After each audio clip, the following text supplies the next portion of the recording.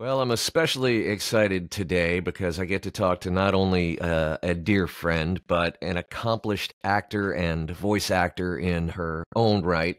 Uh, she is also the head of casting at Sound and Fury. And for my money, and literally for my money, she is the best commercial VO coach in America today. I'm thrilled to welcome Tina Morasco to the podcast. Tina, thanks for joining me. Thank you so much for having me. And that's uh, quite an intro. Well, it's it's it's all true. Uh, you know, I tell people this on a regular basis. You have changed my life. Oh my uh, god! Because uh, the coaching that I had got me to a certain level, and I had a lot of success in this business. But what I'm learning now through your coaching uh, has really has really upped my game substantially, and I can't tell you how grateful I am for that. Oh my so. gosh! Well, you're doing the work, and you're you know you're a good student. So yeah, it's funny. That's exactly what I tell my students too. Yeah. So uh, thank you for that. I want to uh, because we do know each other. Uh, I don't want this to be an interview of inside baseball. There's a lot I still don't know about you. Yeah. So I want to start out with that. How did this entire odyssey, your your start as an actor, how did that start for you? Oh gosh, it goes it goes back. I have such a circular uh I have I joke around that I've sat in every chair in this musical chairs game of voiceover. Um, so I started way, way, way, way, way, way, way back in the 90s as an agent. So I was first, um, I was an agent trainee at William Morris, which is now WME, but back then it was just William Morris.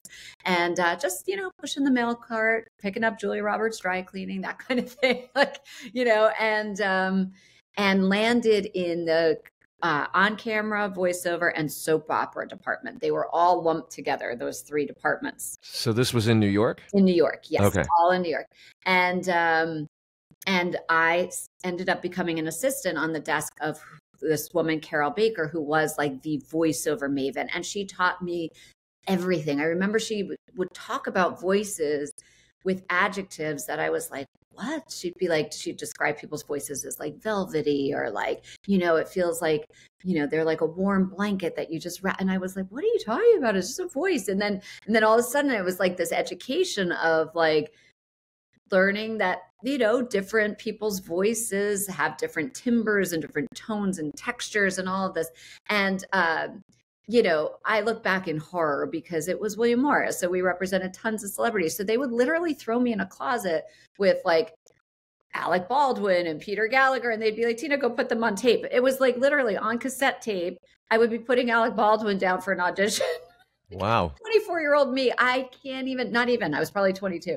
Can't even imagine the stupidity that came out of my mouth. But he like, was lovely. They were all lovely. Everybody was great. Um, I used to have Gilbert Gottfried coming in, like tugging on my my shirt, going like, "Take me to the wee wee room. Take me to the wee wee room." Like, yeah, like, and be like, Gilbert. Um, it was just a absolute like just a circus. It was just like this constant. Sounds like a ball. It was. It was a ball. It was so fun. Um, and so I did that for a little over three years, and then ICM kind of tapped me on the shoulder because they only represented celebrities and they wanted to start a department for people like you and me like this what we call the scale voiceover actors now right. that term isn't as popular anymore because that's a union term it's meaning like you would you and I would work for union scale as right. to celebrity over scale money right so they wanted like the day-to-day commercial voiceover actors um, they wanted a department that focused on that. And the guy who was over there running their celebrity department didn't want to do the scale voiceover anymore. He had done that for years. So he brought me over. His name is Stephen Arcieri. He's still one of my nearest and dearest to this day. And I, he and I together started that department from the ground up. But we decided we weren't going to steal clients from other agencies. We were going to go out every single night to Broadway and off Broadway and performance art and stand up and I tell the story all the time. Like I once saw a juggler on the street that had a cool voice, and I was like, "Hey, you want to learn how to do voiceover?" And we brought wow. these people from all different walks of the performance life into our fancy pants office on 57th and Fifth Avenue, and um, and taught them how to do voiceover.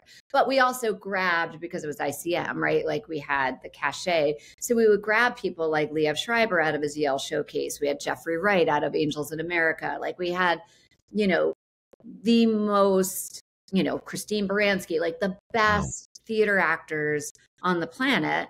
And then we taught them how to adjust what they were so excellent at for voiceover and um and we started this department from scratch and so that's really where i cut my teeth because nobody had ever done a voiceover before so i had to produce fake demos for every single one of those clients so we could launch like an ICM departmental demo to send out to producers and stuff.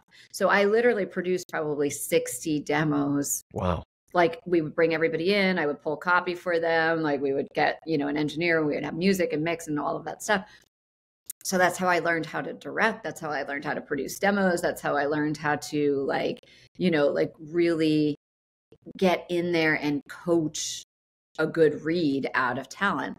And somehow and it was so successful and it was so much fun. It was the hardest I've probably eh, maybe the second hardest to Sound and Fury. It's it was one of the hardest I've ever worked in my life and I was really really proud of it. And I just kind of woke up one day and felt like there was still something missing. There was still like this performance bug that was like somewhere rumbling deep inside of me. So I secretly, like totally on the DL, auditioned for one graduate acting program and I was like, if I get in, I will go. And if I don't, then I'll just stay the course. And I just was going to leave it up to fate.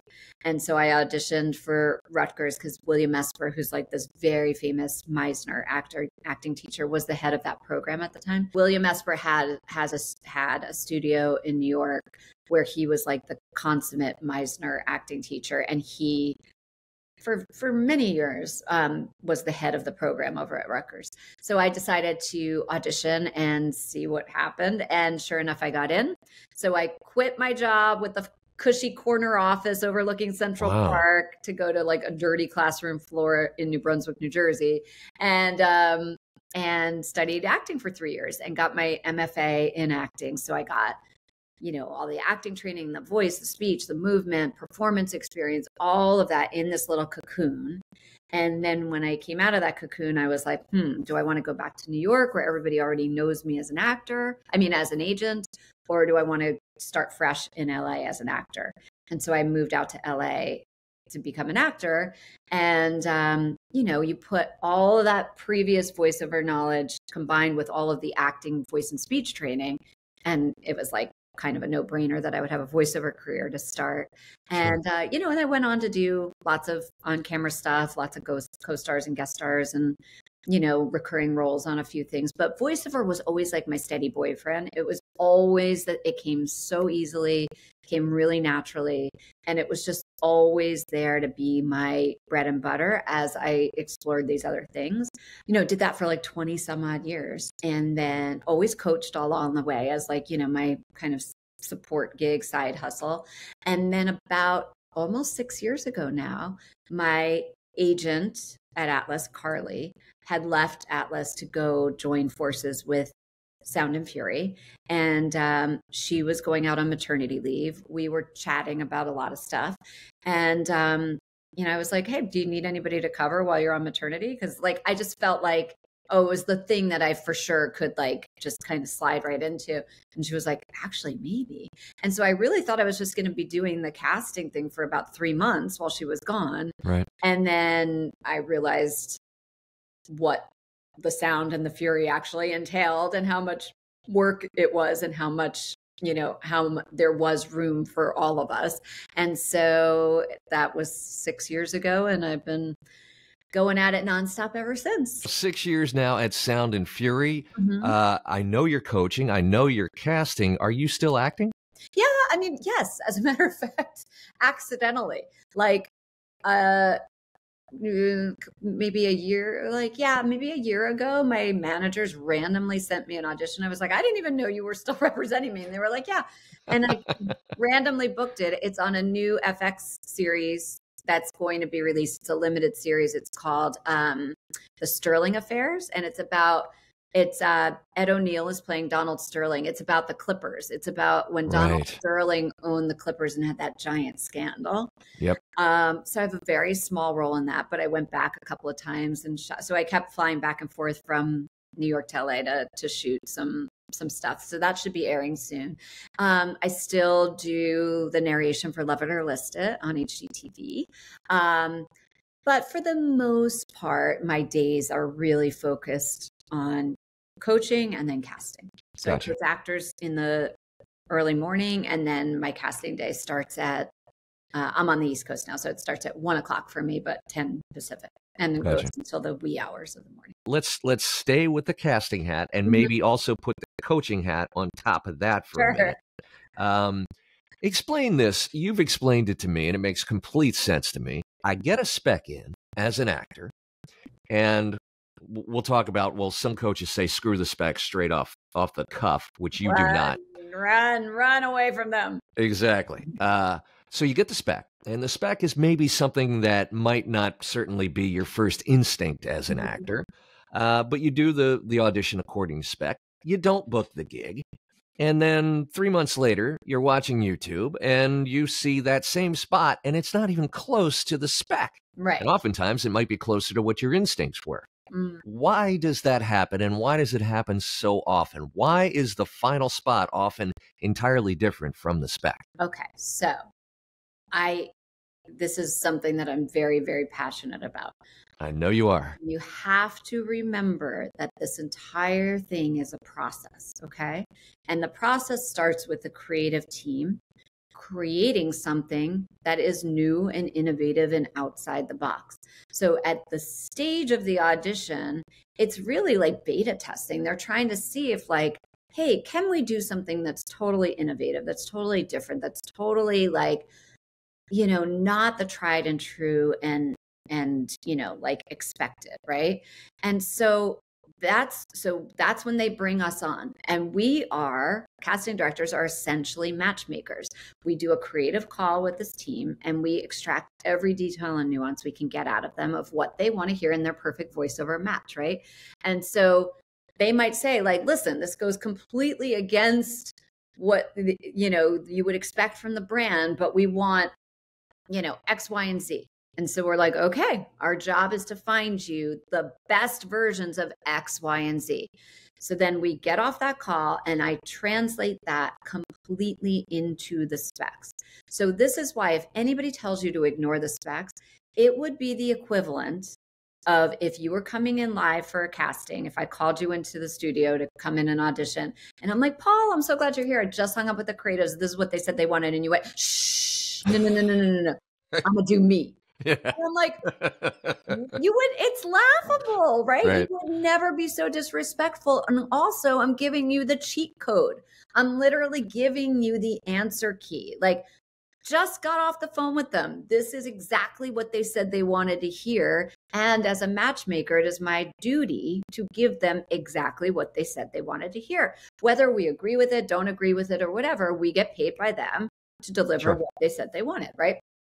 So the specs are literally my criteria. I keep them up on my screen as I'm casting to remind myself constantly oh no they want they want pulled back effortless swagger so anytime i hear something that's too forward and too pushed at me i'm like nope that doesn't work right because they right. wanted it like you know more self-possessed more pulled back more settled in and sunken in right so the specs are 100% the, the, the criteria I'm using to hand pick the best options of this very wide net that I cast. Um, I'm going to hand pick probably the 60 or so best matches of those specs. Okay. So ignoring the specs is literally like you're just you might as well just not even audition because sure. like unless you accidentally guess exactly what the specs said you've got no shot so that's number one. So then we try to match up. And what I'm really, really always listening for, because we're obviously not going to give them a link of 60 voices that sound identical. We're gonna we're gonna interpret those specs and be like, hmm, this person has, you know, like most of the voices, if they want authority, depth, and gravitas, are going to have a deeper timbre and a and a maybe like a weathered experience to them or whatever. But this person who has like a mid-range voice has such a baller attitude without even trying. That's cool. That works. Right, right. You know, and then and on and on and on it goes, right? So it's like if your point of view matches the point of view that's spec and you're telling that story from such a place of ownership and authenticity, I don't care what your voice sounds like. If your attitude is matching it spot on, you're in, you know, because that's the way I'm going to give them a very well balanced, you know, link. Sure. So, so then we you know, do our best to curate like the best, most interesting 60 out of maybe a thousand reads that we're listening to. About 60 get sent to the client. And I'll make sure on that 60, like there's a full range of diversity in every way, shape, or form, you know, and we deliver that to them. Then, and I just want to want to jump in here for a minute, Tina, because I want to remind people that up until this point, this is entirely being driven by the creative team. Oh, the right? whole thing, yes, the whole thing up until this point, you're absolutely right, is being driven by the creative team. We do our best to curate what the creative team said they wanted on that kickoff creative call. Okay. So then we deliver our top choices to them. Then the creative team listens through, and there's usually multiple of them, and they all have spreadsheets, right? And they're marking down who they think that that could work and then they see like if there's synergy and overlap and whatever and that's how they generate their short list right so then sometimes they're they'll come back to us with a short list and they'll say okay we like these five people can we get them to do a callback read? And then they'll give us more specific direction for the callback based on what the rough cut of the film is. And notice that i said film because these aren't commercials anymore. They're not ads. They're not selling us anything. They're making short films okay? So they'll say, We just had one the other day. And literally, the direction was slower reads will help the gravity of this film. We want the actors to watch what's happening on camera, be connected to it, observe it, and just simply respond with intention from their authentic point of view. So that is that is like absolutely the only game in town right now, right? So you know, we'll we'll do that. We'll send them the callbacks. Then it's still in the creative's hands at this point. Right. They'll make their reco and they'll make their like, you know, their like backup choice. Then they send it to their client for approval.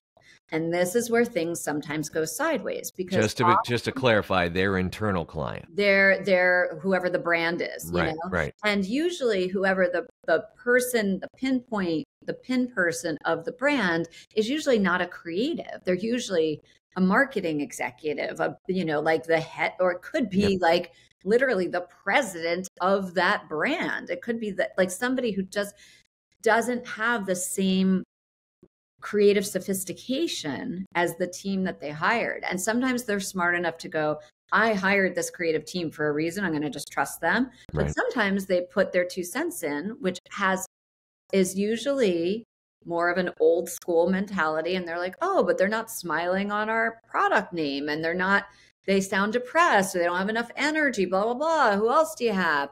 And then or they'll usually the creative team will get to book who they want. They'll get you in the session, they'll direct you exactly how the audition has been, and then they'll make you wait an hour for approval. And that's when they come back and they go, okay, Smile it up. Yeah, the client more energy. They want you to smile. They want you to give it a little bit more brightness and smile on the product name. And that's how it oftentimes ends up different on the air. The other way is that, like, sometimes it's a grand experiment. So it's like, hey, we think the creative that's going to work is like this just happened to us recent with a huge tech client, right? We did a casting, they hired the person.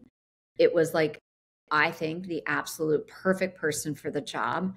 creative team loved the person. The session went great. Then they came back to us and they said hey we need to recast. And we were like why? We thought you loved so and so and they were like we do love so and so one person on the client side made one comment and now we have to recast. And then they were like and now we have to recast for the other gender. And then they came back and said and now we realized that when we recast for men it sounded too trailery with how cinematic our visuals are. So now we need to recast with lighter male voices. And then at the end of the day, they were like, just kidding, we're sticking with the first person. Oh my God.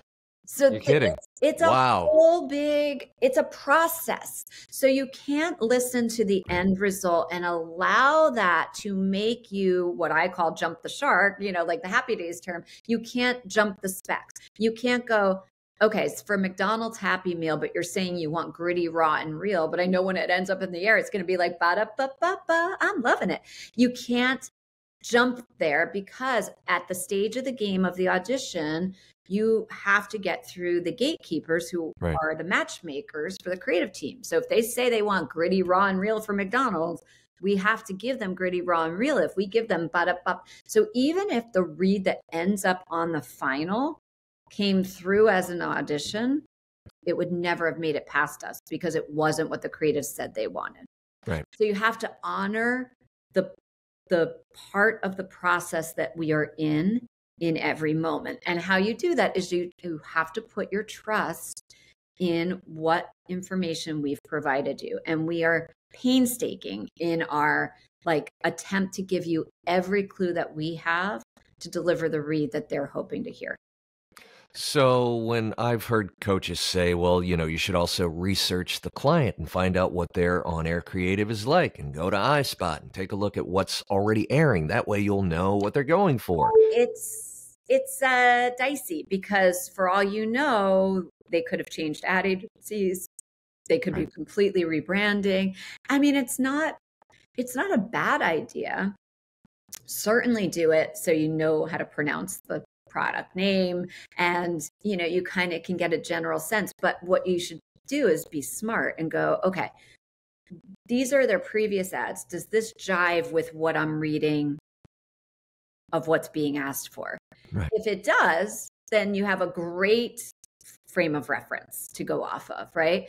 If it doesn't jive at all then you have to default to what is given to you on that page because for all you know there's been a complete sea change. You know, there's going to just be like a total shift in. And you couldn't know. Yeah, you can't know. Can't I don't know. even know most of the time. You know. right. Exactly. Yeah. Um, I have one last question for you, and then we'll we'll let you go. Uh, the the big elephant in the room has been, of course, artificial intelligence.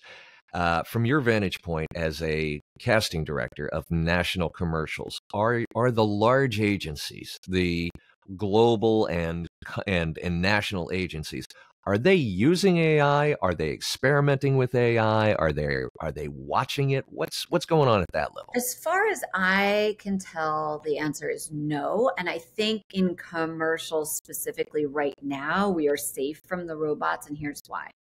Because commercials have never been more real.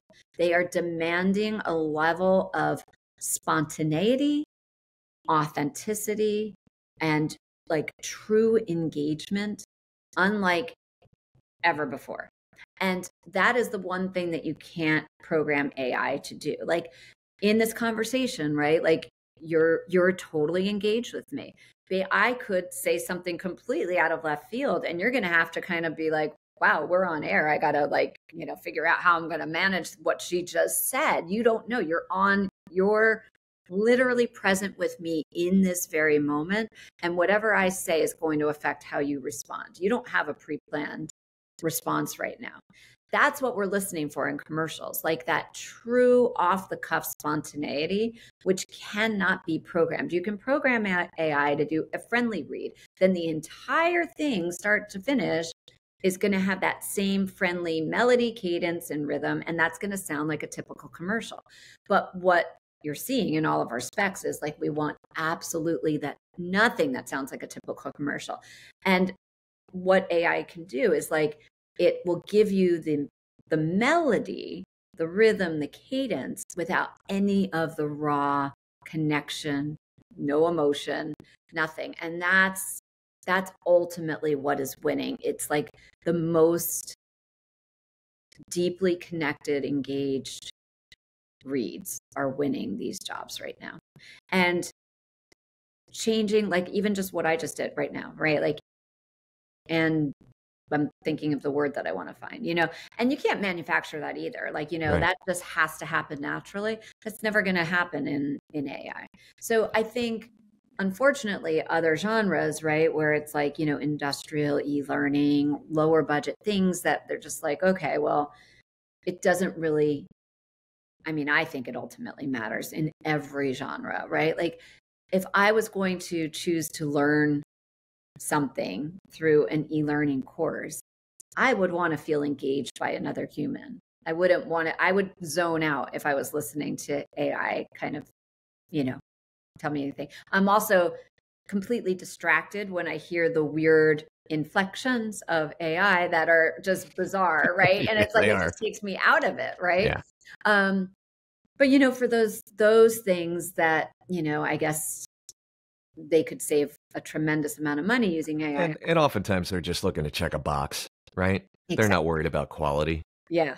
But I think for commercials, for for the time being and with the trend being what they what it currently is, which is everything as a film, it's all cinematic and your job as the voiceover is to observe what is happening and respond to it truthfully moment to moment to moment that is an innately human skill.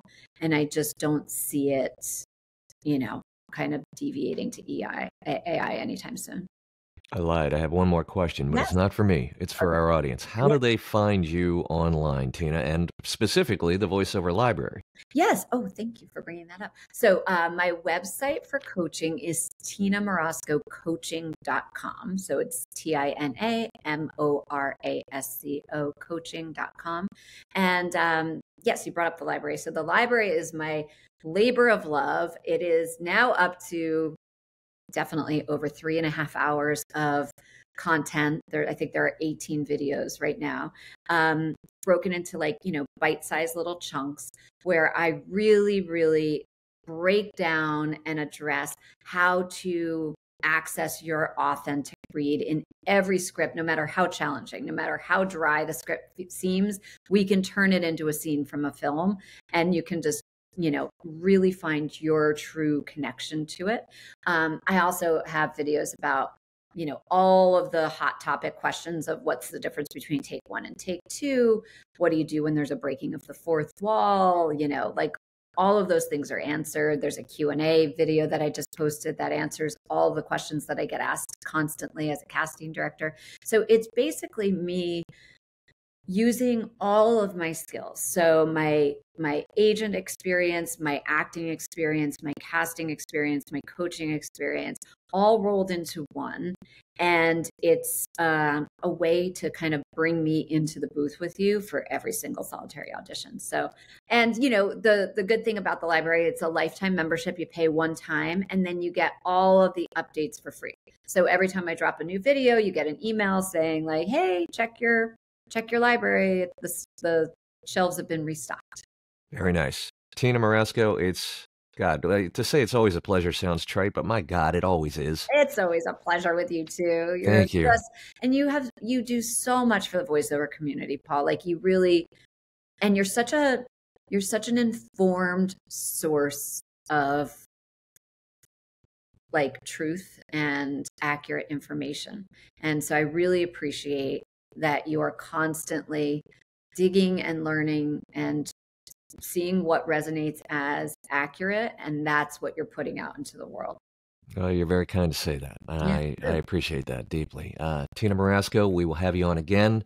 Yeah. And uh, thank you for spending time with us today. I really, really appreciate it, my friend. Always and anytime for you.